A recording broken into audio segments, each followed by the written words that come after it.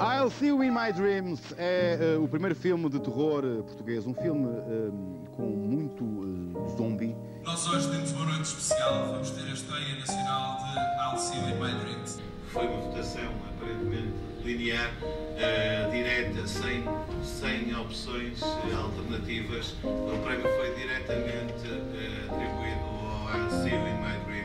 Este documentário contará uma história inacreditável que surpreenderá todos os portugueses.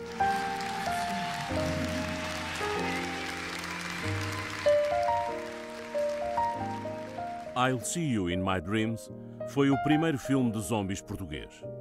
Desde a sua estreia oficial no Fantasporto, viajou por festivais de cinema por todo o mundo, tornando-se um surpreendente fenómeno de culto. Foi também a mais cara curta-metragem da história do cinema português, embora tivesse sido produzida sem qualquer apoio financeiro. Juntou uma equipa de profissionais portugueses, espanhóis e canadianos que, durante um período de dois anos, preparou e realizou este ambicioso projeto. Porém, a grande maioria dos portugueses desconhece um dos maiores ícones da cultura nacional, um jovem visionário da sétima arte que inspiraria a equipa. O seu nome, Eurico Bernardes Catatau.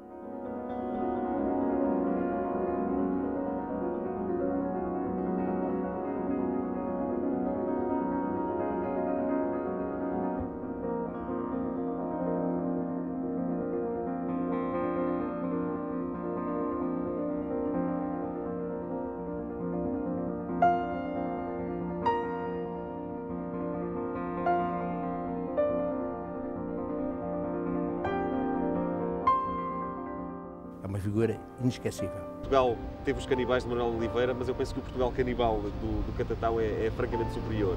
He was able to produce a lot of things that they hadn't seen before. Dizia-me sempre que gostava de ser um, uma pessoa muito famosa. Eu acho que o Catatau era um chato. Sentia-se que havia uma grande paixão pelo cinema e por aquilo que ele queria fazer. Ele era um visionário, um artista.